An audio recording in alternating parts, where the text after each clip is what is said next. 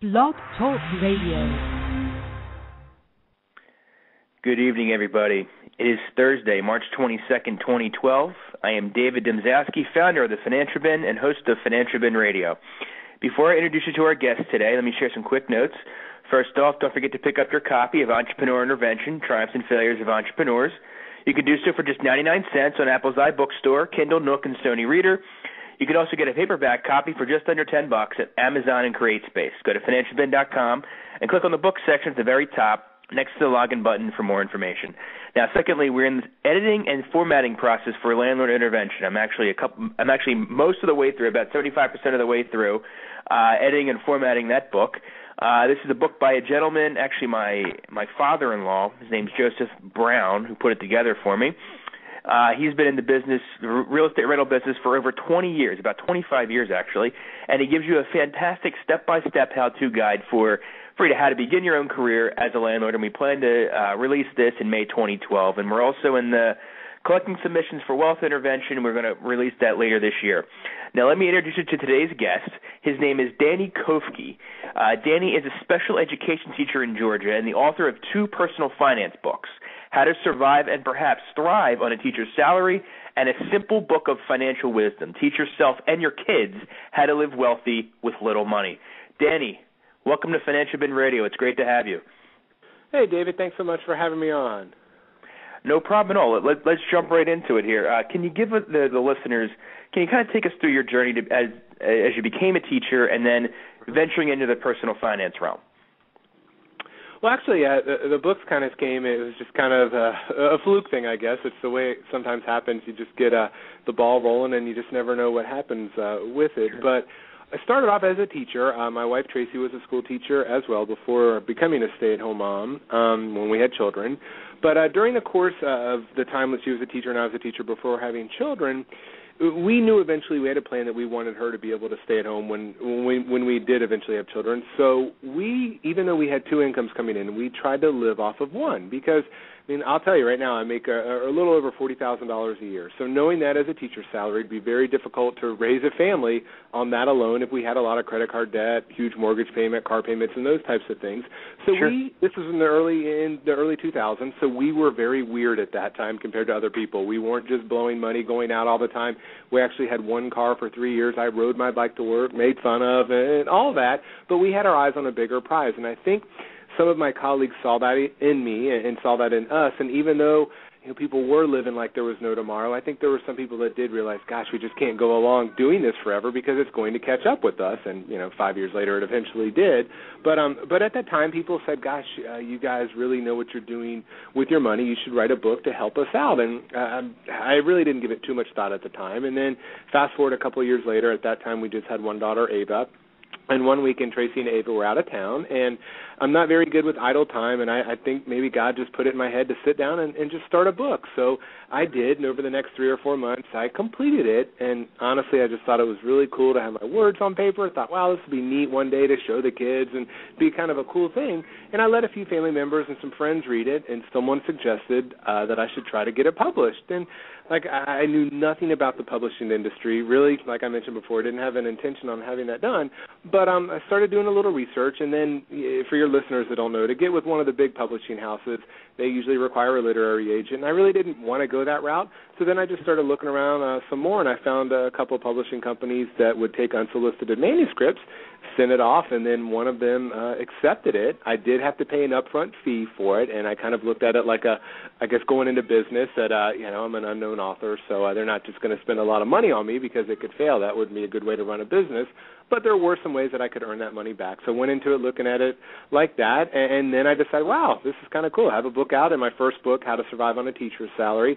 Um, it, it's definitely kind of the story of how Tracy and I got to the point that we were able to have her uh, stay at home when we did have our first child. Um, and, and the thing is, you know, with our story, everyone's story is different, and ours is too. We actually taught overseas for a couple of years, so that helped uh, save helped us save some money. And we moved uh, out of Florida when the housing market was good didn't try to time it. It just uh, so happened to be that way. So there there are some things in that book that may not relate to anyone or to everyone and that's why I wanted to write another book because uh, with my second book a simple book of financial wisdom teach yourself and your kids how to live wealthy with little money uh, that just came out last September so September of 2011 and I, I actually I started my first book in 2005 so fast forward there six years.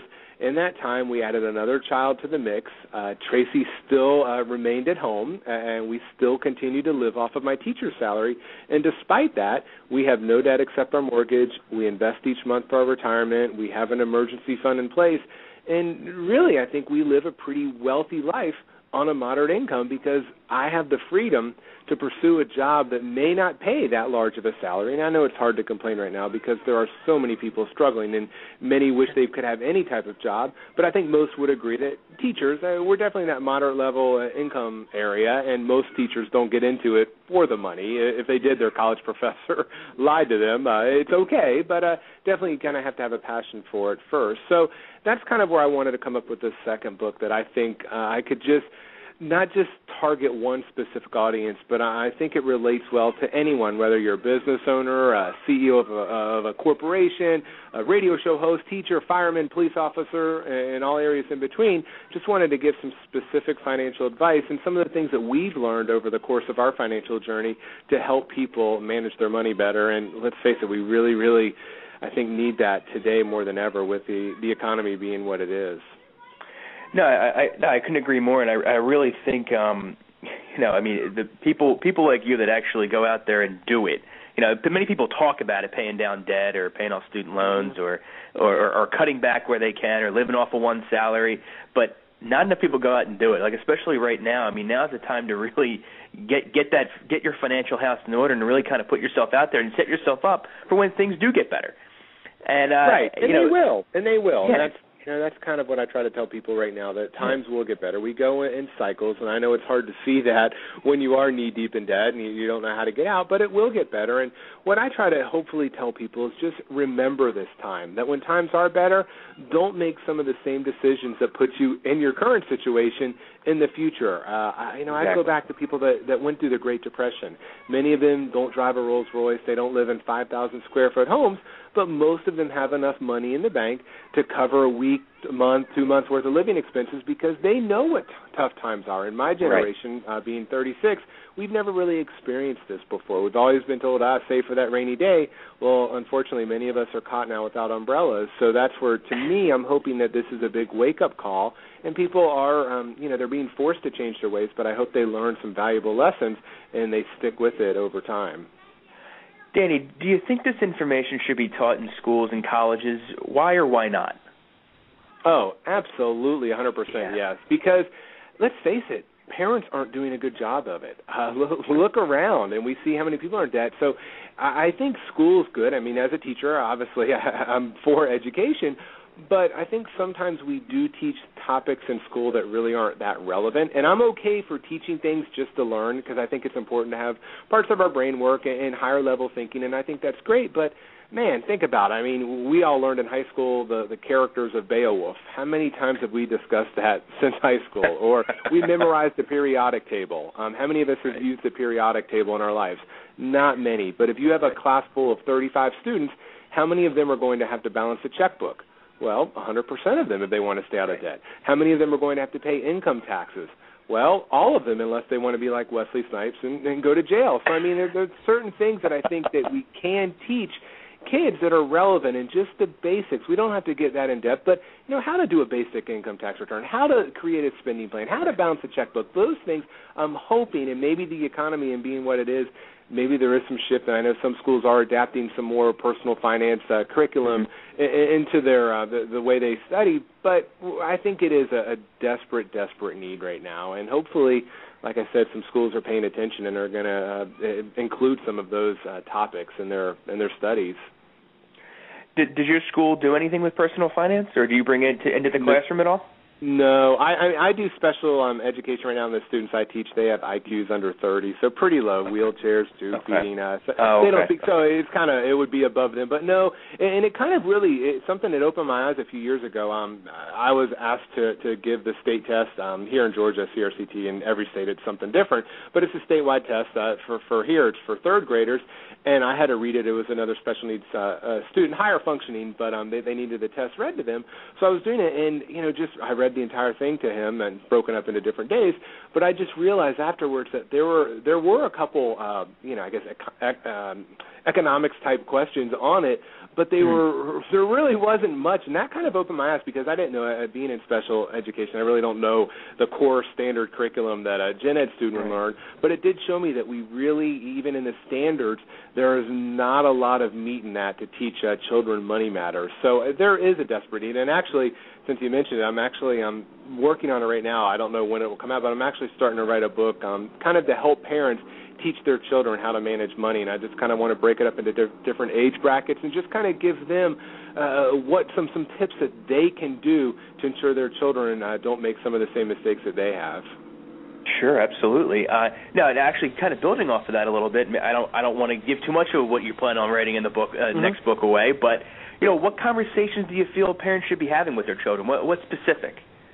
Oh, I think open and honesty is just the best policy in most things. But even with me, I mean, right now I don't have teenagers, so I know it's going to be different. You know, ten years down the road, two teenage girls.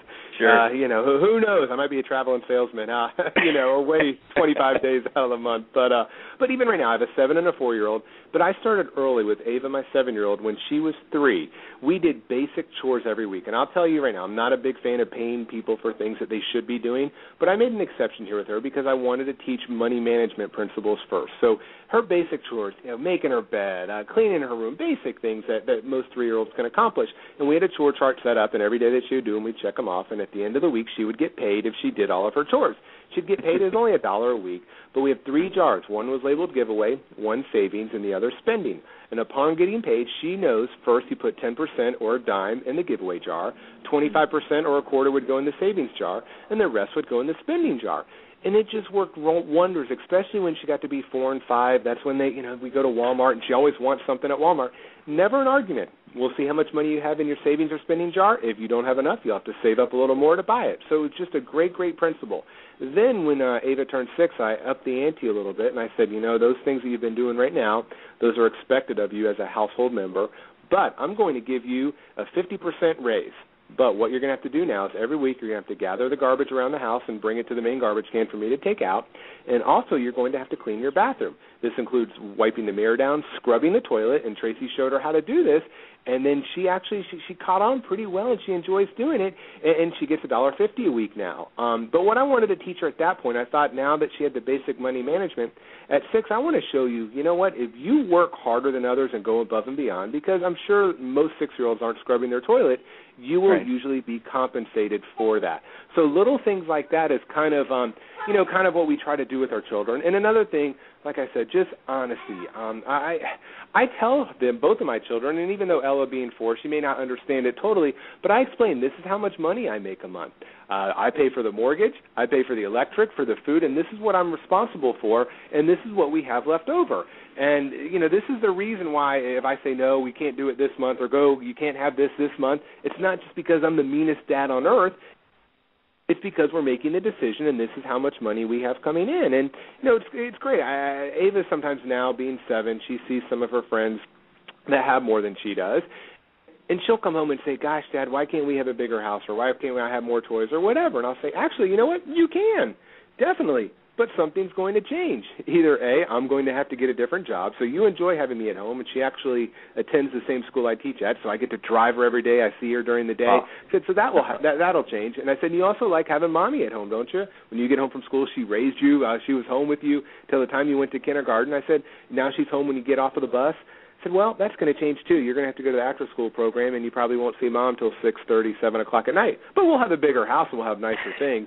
And then she'll always say, you know, Dad I think we kind of have it pretty good as it is. And then she just kind of goes off and plays. But those are the things I just kind of open it, and not that I would change her, what what we do if she wanted bigger things, but I just kind of mm. want to give that explanation to her that yes, uh, certain people they do have more than we do, but there's also a price to be paid for that. And I think sure. uh, going back to the the current economic situation, I think that's why so many people are in financial trouble is they didn't associate, you know, if I do A, then B is going to happen. If I sign up for a 5 5 and 1 arm, when the interest rate adjusts, I'm not going to be able to afford it. Or if I put $5,000 on a credit card and I just make the minimum monthly payment, well then I'm going to end up paying almost 20 grand. So I think a lot of people we just it, we're so in a society as I see it, I want it, I'm going to buy it right now, and a lot of us do not think about the future ramifications of those decisions. So that's kind of where I want to go with them right now. At a young age, just kind of be open with it and explain it to them. And as parents, I mean, I know, and I've talked to my pastor at church about this. Money still remains his taboo topic. He'll say people will come to him with marital problems, drug abuse, uh, mm-hmm. spouse cheating, but money is still something people are so embarrassed about. And I think we need to get away from that. And especially when we're talking with our kids, if you've messed up, that is great because kids learn from our mistakes. Every kid wants their parent to mess up. It's just kind of one of those things that, because they they want to say, "Gosh, they're not perfect." So if you have right. messed up with money, tell your child, "You know what? I really did." But the important thing is, I'm learning from this mistake, and I'm not going to allow it to happen again because we all mess up. But the important thing is that we grow and learn from them. Well, uh, building off of that, then, Danny, what is one maybe day-to-day lifestyle choice that people can make to better their situation, and then maybe also maybe if you want to touch on what's the biggest difference that you find in your life between you and your peers? All right. Uh, first, uh, the biggest thing that someone can do right now, and this can apply to everyone, is for one month walk around with a piece of paper and a pencil and write down everything you spend there are so many people right now. When I give financial discussions or try to help people uh, financially, they'll say, "I don't have any money. I can't make ends meet." They have a new Coach bag, or they have a new pair of shoes. They have a new iPhone. And I say, "Well, you do have money. You're just spending it in this way." And a lot of people, they just don't realize where their money is going. And if you don't know how you're spending it, it's very hard to control it. So that to me is key. Uh, and that you know, I could give some generic tips, you know, the latte factor, don't buy coffee or lunch or whatever, but that doesn't apply to everyone. So here, this is going to make it specific to your situation. You write down what you're spending money on. At the end of the month, you can analyze those uh, uh, how you're spending it, and then you can see areas that you can cut back on. For us, this worked really well for us shortly after we got married, Tracy and I did this, and we said, "Gosh, we're eating breakfast out three times, or every weekend we were actually doing it." It's like, "Gosh, we we can save money. We don't need to do that, or going to the movies or whatever." But it becomes personal, and just you know, small amounts add up really fast over time. And an easy example, let's just say Monday through Friday you eat lunch out every day. We'll say fast food, keep it cheap. We'll say five dollars a pop. Most of us aren't going to think twice about spending five dollars. We're not going to miss it. But add that up. Five dollars a day is twenty five dollars a week, which was one hundred dollars a month, which adds up to thirteen hundred dollars a year. And a lot for a lot of us, thirteen hundred dollars can go a long way. So mm-hmm. that to me is just the number one key is just see where your money is going because there's two ways to make more money either A, have to get a higher paying job, which, let's face it, it's possible, but it's a little more difficult for most of us right now than it was five or six years ago, or B, we cut back what we're spending money on, which in turn puts more money back into our bank account. And then for your second question, what um, kind of makes us different? I just think for us, we don't have it all um, you know, we do have nice things. I have a 50-inch high-definition TV. I have, I think, a nice house. Um, we do have nice clothes, but we don't have it all. We're not able to go eat dinner out every single night. I'm not able to go buy a Mercedes. I'm not able to go buy whatever I want whenever I want. That, I think, to me, is the difference. Is that we plan ahead. If we see something that we like, we want to go on vacation. We're going on vacation this summer. Actually, we're going um to to a beach house for a week. So right now, we're starting to save up money for it. Now, uh, would we be able to go on vacation every single month? No, absolutely not. But we're making this sacrifice. So to save up money to do that, we may say, you know what, we're not going to go out to eat this Friday night. We're going to stay in instead. So just little things like that.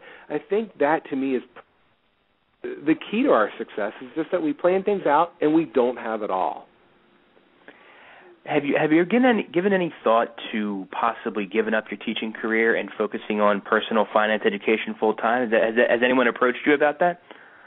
Yeah, I, I mean they haven't. There's kind of talks a, a company that um that does the 403b plan for a school district. Um, they've kind of the owner of that has been in touch with me, and I've actually done some presentations with him. So it is something that might happen in the future. I, you know, it's kind of up to to the man upstairs. Uh, I, I just I kind of do what's ever in my power to to make that happen. So I don't know. I would really enjoy to do that. Um, just because I do feel there's such a desperate need. And, and like I said, even maybe if I eventually do write that book for parents to teach kids, something to get into schools to try to help children as well. So yes, right. I mean I'm definitely uh, all ears for that, and will listen to, to something along those lines if something came up. But um, you know, we're just working towards that, and uh, just see what happens. Whatever's meant to be, I guess, uh, will, will happen. Well, well, Danny, this has been fantastic. And just kind of wrapping up here, what is at the at the Financial Bin? We focus on Generation Y. We focus on personal finance and entrepreneurship. What in this tough economic time? What is one tip that you can pass on to Generation Y? Gosh, I just think you have to be careful. Um, you know, Generation Y, uh, what we're seeing with the Occupy movement, kids graduating from college, getting a degree in, in English literature, owing a hundred thousand dollars in student loan, and they can only find a job working at Starbucks as a barista. It just topped and one trillion sad. today. It came out. student loan yeah, debt. there you go. And I think we have to be careful when you're when when you're in high school when you're getting ready to go to college. Just think about your future. Don't just think about the next four years and how great it's going to be to have you know uh, twenty thousand dollars to spend. You're not you don't need it all for college, but you're going to blow the rest of it on keg parties and things like that. Of course, we all want to have fun, but you also have to realize down the road you're going to have to pay a price for that. It doesn't come for free. So I think right. that is kind of the biggest thing is just plan for your future. And if you can stay out of debt golly, it is so your life is so much easier because once you do get in that vicious cycle of having credit card debt, when you're paying 24% interest a year, you start racking that up. You're behind the eight ball, and it's much more difficult to get out uh, from behind that than if you start off with a clean slate. So that's kind of where I would just just kind of plan ahead and envision where you want to be in a year, five years, ten years, and just make decisions based on that. And don't always worry about what other people think about you. Because you know what? That person that you think has it all they could be going to bed at night having trouble sleeping having debt to collectors call them because they're twenty thousand dollars in debt and you think oh they got it all and you're trying to live up to them. So just do what's right for you and then have a plan. Plan ahead of what you where you envision your life is going to be. Danny, that, that's really some great advice. Now, last thing I want to I want to ask: Where can people get get in contact with you and buy your books? Um, probably the easiest way, um, if you just Google search my name, Danny Kofke, so D A N N Y K O F as in Frank K E, and usually the first thing that comes up is my blog page. It's uh, dannykofke.blogspot.com, and on there there's uh, direct links to email me, direct link to order my both of my books. Um, also, uh, you can see some various uh, media things I've been on and learn a little bit more about me. All right, Danny. I, re- I really appreciate your time, and please, I, I would welcome you uh, welcome you when you when you release that that third book, I should say. I would love to have you back on and, and give us more information about it. Awesome. I'd love to do it. Thanks so much for having me on, David. Thanks. You, you too. Uh, have a great weekend, Danny. Thank you so much. Thanks. You too. All right. Bye bye. All right, everybody. That was Danny Kofke, and Danny is the author of two personal finance books. How to Survive and Perhaps Thrive on a Teacher's Salary, and a simple book of financial wisdom. Teach yourself and your kids how to live wealthy with little money. And as Danny mentioned, uh, he will be coming out with a third book. Uh, I'm, I'm assuming maybe uh, later this year or early next year, and that'll be a book for parents about you know how to teach your kids uh, about money and and and how to uh, you know start your own life on the right track. Because as you heard, Danny is really a, a great parent and really teaching his kids uh, you know how to how to handle it because you know this is part of the reason we're in the mess we're in right now financially, um, and you know one of these days someone someone in Generation Y is going to be leading a country, and you probably want them to be able to handle their personal finances well before they they go and do that. Just ask France France and uh, and the pigs over in Europe. Uh, okay, well, I really, really appreciate your time tonight, guys. Uh, again, please make sure to follow financialbin.com for the latest on personal finance and entrepreneurial advice for Generation Y. And don't forget to pick up your copy of Entrepreneur Intervention. And please make sure to keep abreast of what we're doing with our the rest of the intervention series, both landlord intervention and wealth intervention. I want to thank you for your time. Till next time, my name is David Domzalski. Thank you for listening.